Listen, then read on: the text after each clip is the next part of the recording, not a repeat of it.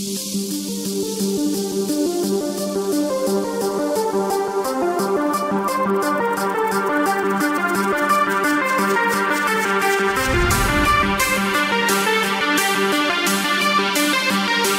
khách đi vào hòn hoặc đưa ra tàu.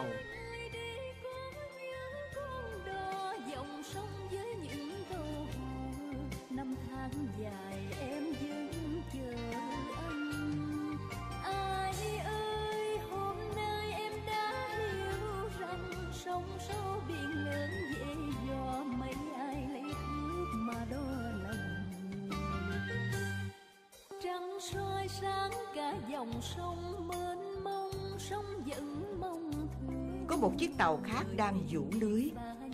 Chiếc này có một cái rồng rọc to xoay tròn. Các thủy thủ đứng hai bên kéo lưới lên nhẹ nhàng hơn. Phía bên dưới có chiếc ghe nhỏ. Hai chị đội nón lá đeo bao tay, vừa kéo vừa banh lưới. Họ mót những con cá, con mực còn sót lại trong lưới. Nhìn vào khoang ghe thấy cá mót được cũng bồn cá thao chứ chẳng chơi. Nhìn mọi người đang giặt lưới, giống như một vũ khúc sống động minh họa cho bài dân ca tiếng dân chài.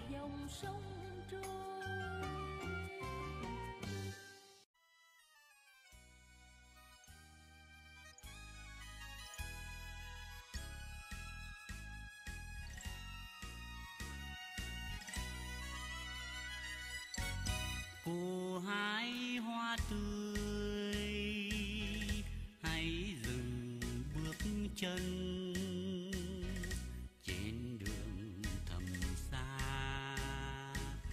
Tôi nhắn cô em đôi lời. Ghe đổi nước ngọt cũng cung ứng tận nơi cho các tàu đánh cá.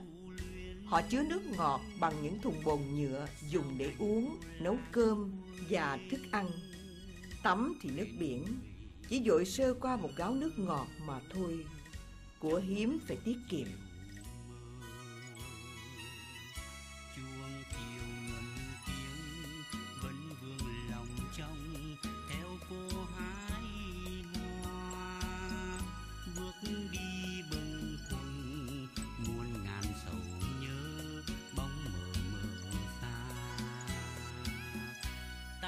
Giấc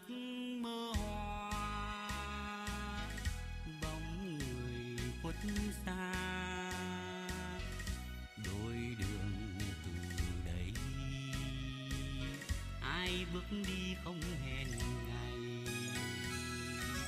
Người tuy xa vắng, nhưng lòng không khắc ghi.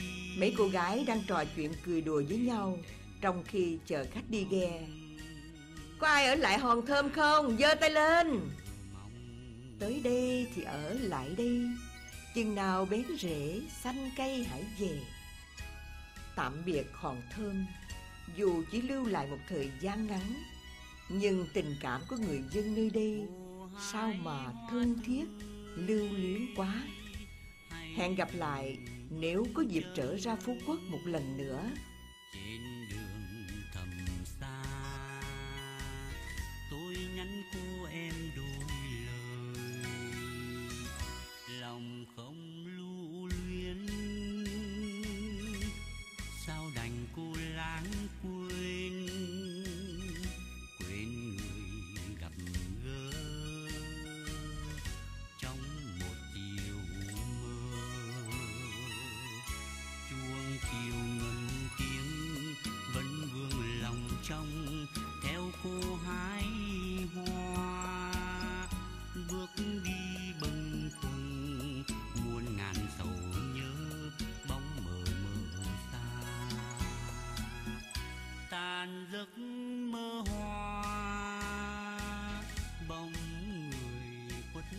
Bây giờ lên ghe, mời quý vị qua bãi đá trào cạnh bên để đón tàu vào bờ như đã hẹn hôm trước. Tàu chạy vượt qua một ghềnh đá ăn lan ra biển là đã thấy bãi đá trào. Đó là một bãi biển nằm trên hòn thơm. Biển đẹp thơ mộng, có bãi cát dài trắng mịn. Những hàng dừa đứng sát mé biển giao nhau tạo bóng mát.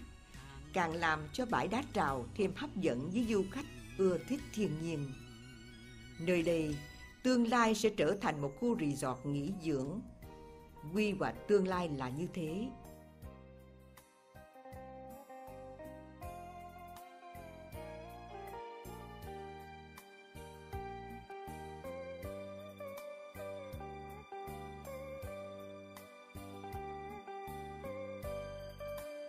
Ánh sáng xuyên qua sóng biển nhấp nhô, làm cho đáy biển như một quả cầu phát ra ánh sáng lung linh mờ ảo.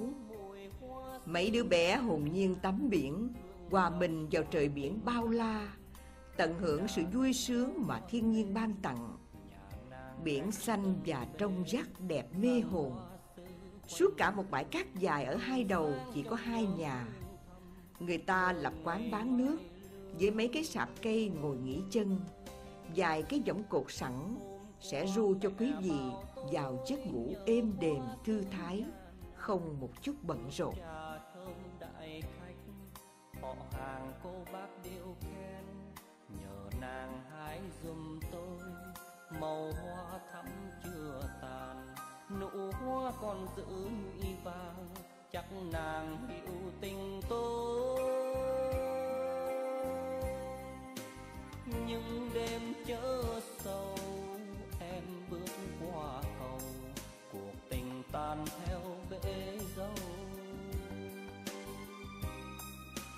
biết chẳng ngày sau khi ngó về gần nhau tình yêu đã vội phai màu Sáng hôm nay, mời quý vị vào chợ cũ ở thị trấn Dương Đông ăn mì.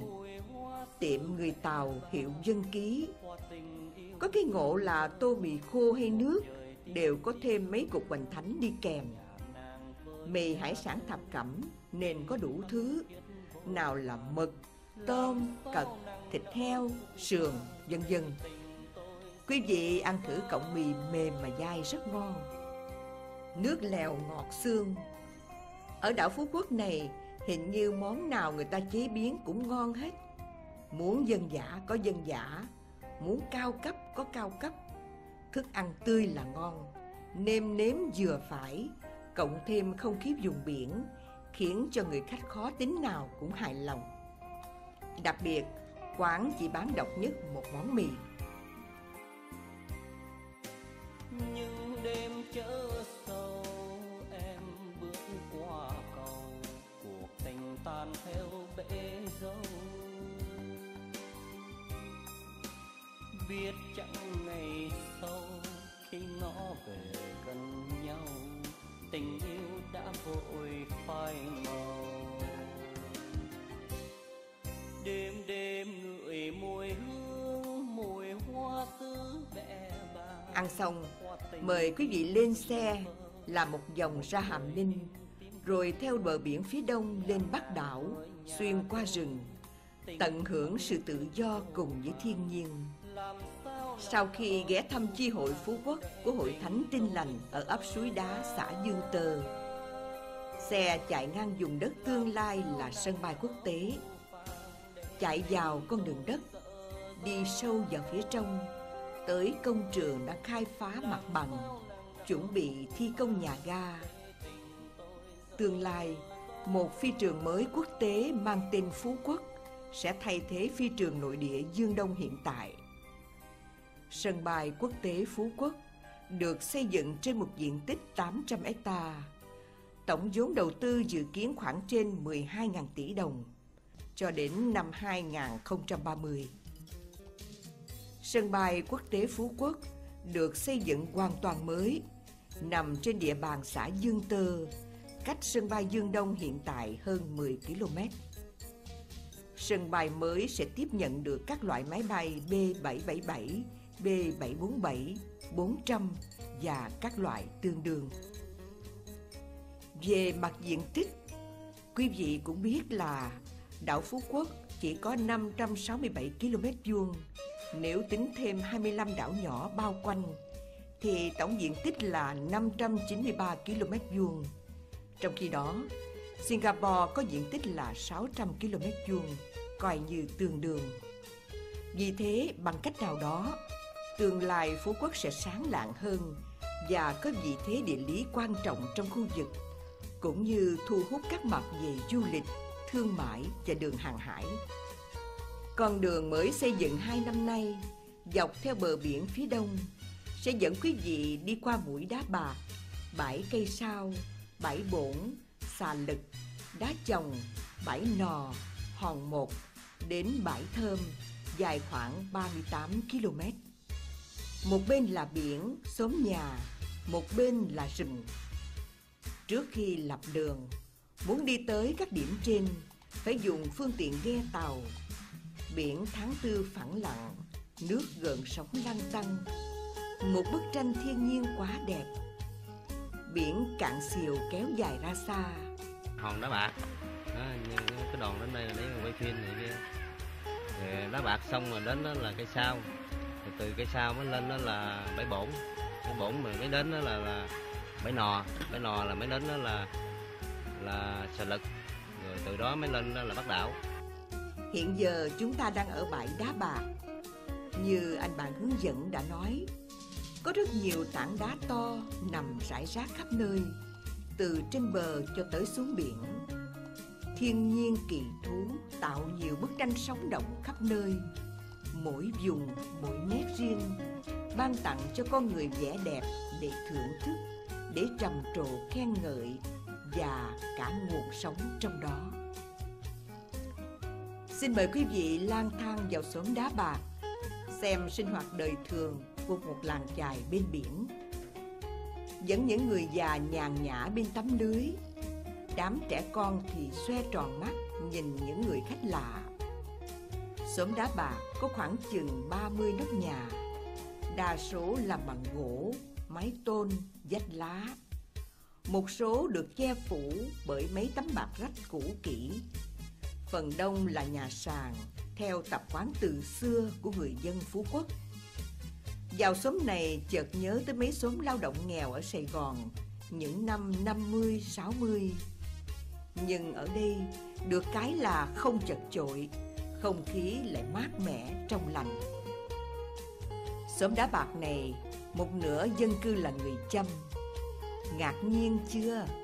Họ đã ở đây rất lâu, từ đời này qua đời khác đến nỗi người ta không biết là họ từ đâu trôi dạt đến hay đất này là của họ trên sàn dáng có một căn nhà tranh đứa bé gái và mẹ nó đang gỡ lưới mới mua về người ta cho lưới lên cao qua một cây đòn rồi kéo xuống gỡ ra hai bên cha con nít ở đâu mà đông quá vậy có lẽ những gì ảnh hưởng của ông bà ta từ xưa trong việc nối dõi vẫn còn hiện diện một cách mạnh mẽ trong sinh hoạt của các xóm chài. Con đông là nhà có phúc. Nhưng với điều kiện kinh tế hiện nay, cộng với dân số ngày càng đông, e rằng con đông sẽ kéo dài cái kiếp nghèo từ đời này qua đời khác. Toàn bộ dân ở đây sống bằng nghề lưới, bữa cơm với canh nghêu ghẹ đơn sơ nhưng đầy chất bổ dưỡng. Phụ nữ thì ở nhà làm lưới, nuôi con, đi chợ bán hải sản do chồng lưới được. Cuộc sống cứ thế mà trôi đi. Con trai lớn lên thì theo cha truyền nghề đi biển. Con gái thì học lại những gì mà mẹ chúng làm. Xóm biển là vậy. Con vua thì lại làm vua, con sải ở chùa thì quét lá đa. Rời xóm đá bạc, theo con đường Hàm Ninh Bãi Thơm trực chỉ. Đường vắng, mặt phía đông bắc của đảo Phú Quốc còn im lìm quang du. Chưa có ai đầu tư vào. Dãy núi Hàm Ninh như một người cha cao sừng sững, nhìn xuống con đường đất đỏ men theo biển một cách triều mến. Mong rằng một ngày nào đó, những người dân sống dọc nơi đây sẽ được ấm no, giàu có hơn đã tới bãi bổn. Ngày xưa, người ta gọi là bãi ông bổn, vì trước đây có nhiều người Hoa gốc Hải Nam đến trú ngụ. Và theo phong tục, họ lập miếu thờ ông bổn, từ đó mà thành tên luôn. Hiện nay, xóm này không còn người Hoa ở nữa. Họ đi đâu sinh sống không một ai biết. Mời quý vị đi sâu vào trong xóm để tìm hiểu thêm Nhà cửa ở đây có lẽ giàu có và sung túc hơn ở đá bạc. Điều đó cũng dễ hiểu, Vì đây là xóm dân cư lâu đời Người dân cần cù làm ăn Để có vốn xây dựng cơ ngơi Còn xóm đá bạc, Ngư dân cư ngụ ít Phần lớn là người châm Lại sống khép kín Không thích giao thiệp nhiều với người lạ bên ngoài Dùng biển từ xã Bãi Thơm đến xã Hàm Ninh là khu bảo tồn cỏ biển rộng 6.825 hecta. Cỏ biển cũng là món ăn mà con cúi, tức con bò biển rất thích. Chúng cư trú khu vực này khá nhiều. Quan cảnh bãi bổn rất đẹp. Dân chúng sống dọc theo mé biển với những rặng dừa. Và nghề mưu sinh cũng dựa vào tài nguyên của biển ban cho.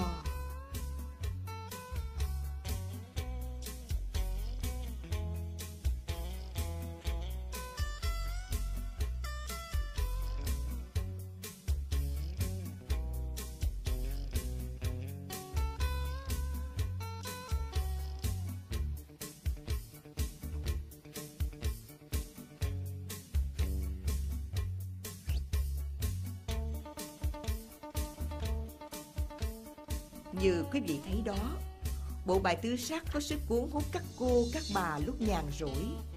Làm dài chén sau khi đã nấu nướng xong xuôi, qua đó thắt chặt thêm tình xóm giềng lúc tối lửa tắt đèn có nhau.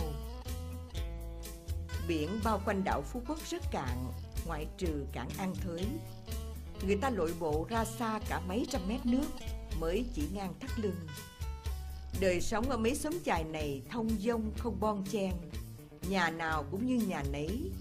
Lưới được nhiều cá thì hưởng nhiều, Ít thì tàn tiện cũng qua ngày. Không phải giành giật, chạy ngược, chạy xuôi như chốn đô thị. Một buổi nhậu với con cá chiên, Tô canh cá hanh rau cần. Vài con mực để nguyên túi mực ăn rất ngọt. Bao nhiêu đó là quá đủ mồi lai rai chuyện thế sự xưa nay giữa lúc tàu lên bờ nghỉ khi biển động hoặc sáng trăng. Anh ngư dân này xách giỏ cá ớt mới lưới lên, đi dọc xóm bán dạo rẻ quá, bảy ngàn đồng một ký